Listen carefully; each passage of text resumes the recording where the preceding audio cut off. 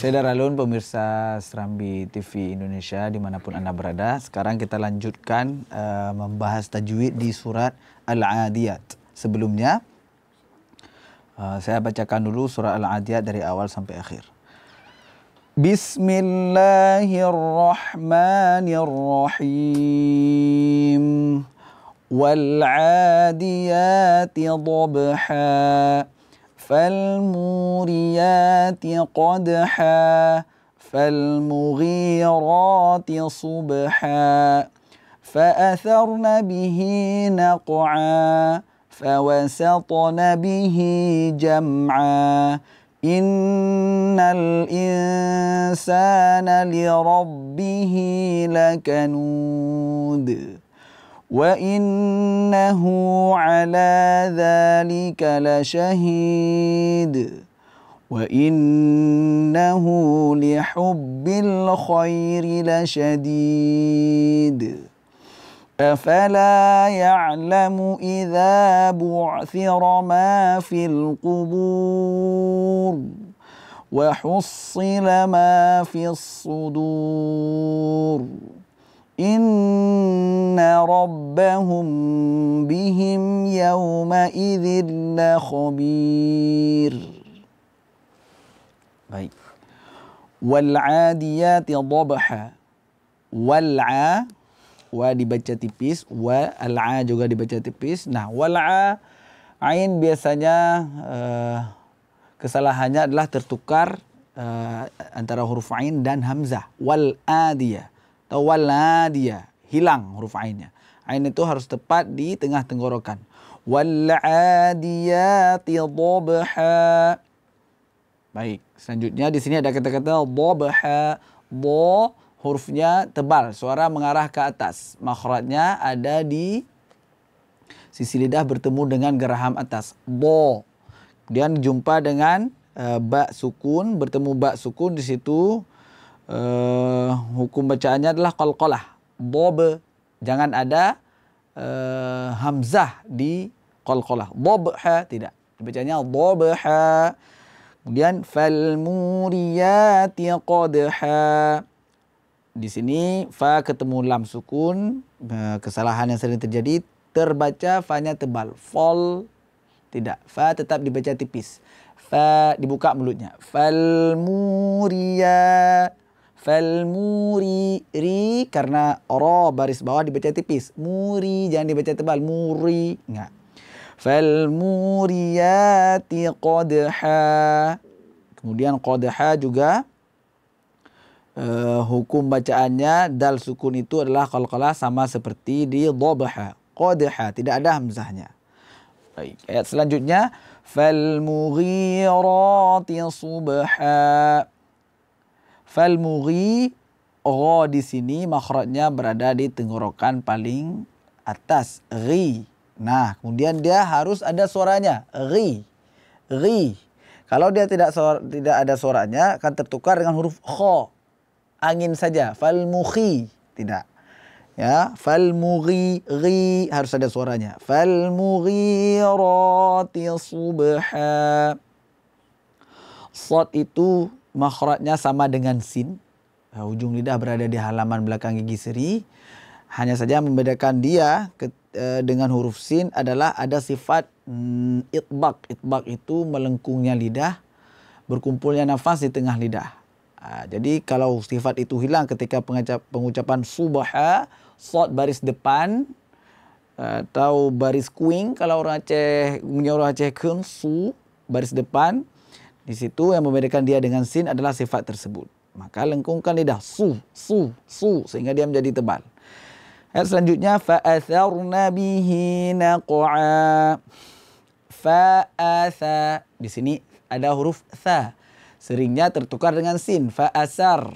Nah, kemudian depan ada ro sukun. Ro di sini karena sebelumnya baris uh, fathah, karena huruf sebelum ro sukun baris fathah, maka dibaca tebal. Fa'atha, fa'athar, thar.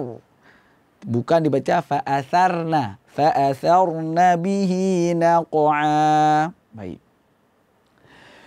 Ayat selanjutnya fawasatna bihi jam'a. Fawasa uh, di ketiganya dibaca tipis. Fawasa di depan ada to sukun dibaca qalqalah. Biasanya di sini kesalahannya adalah ketika sin uh, bertemu dengan to yang merupakan huruf uh, tebal, maka sin ikut biasanya. Fawasat fawasat tidak.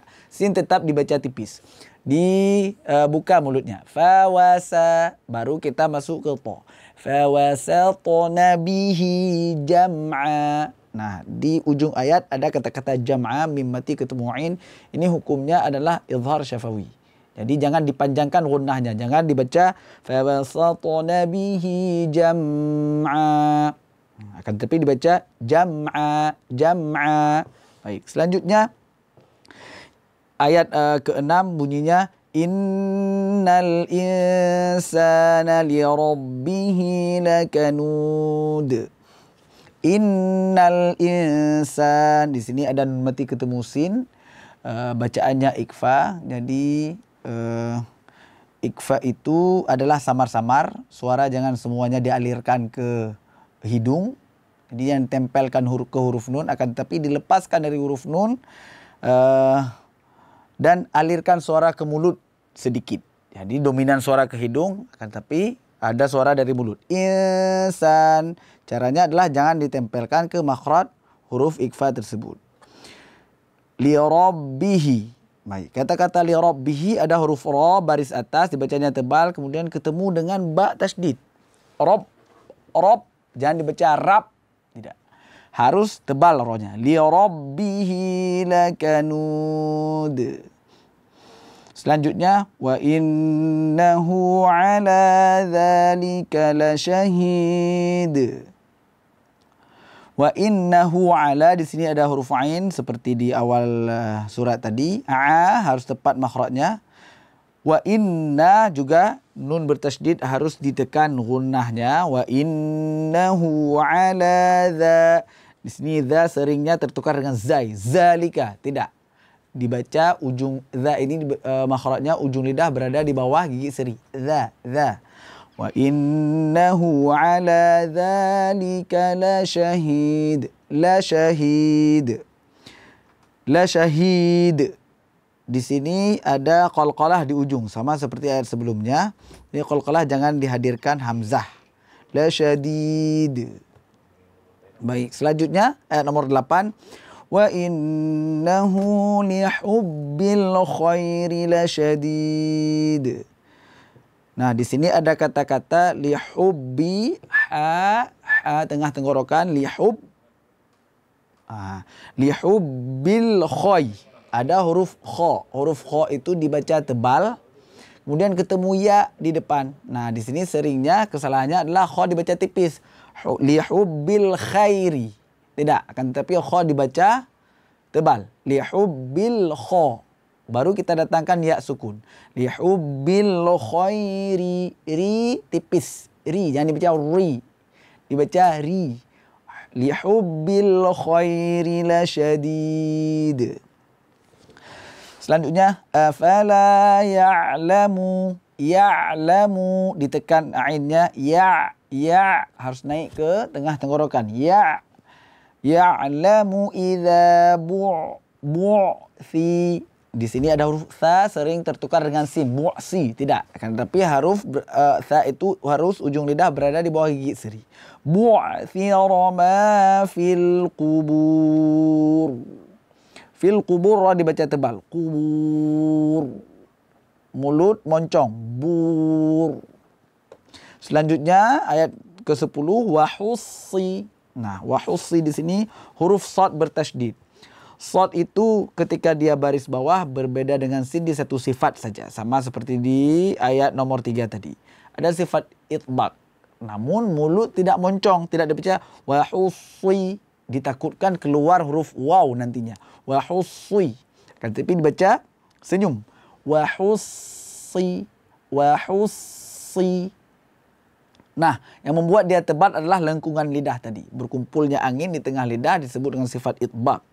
Yang membedakan dia dengan sin adalah sifat tersebut ketika sod berbaris bawah. Wa hussila ma sudur. Terakhir, ayat terakhir ayat nomor 11.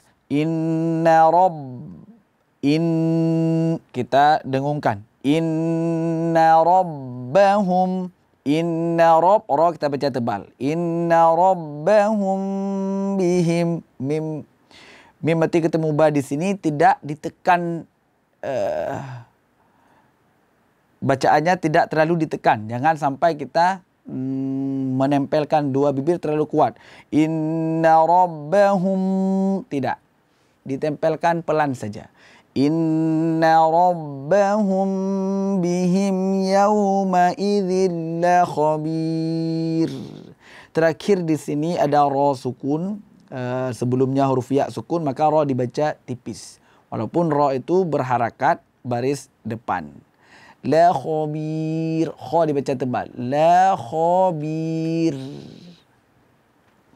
Alhamdulillah mungkin uh, ini yang dapat saya sampaikan tajwid dari surat Al-Hadiyat. Mudah-mudahan bermanfaat. Assalamualaikum warahmatullahi wabarakatuh.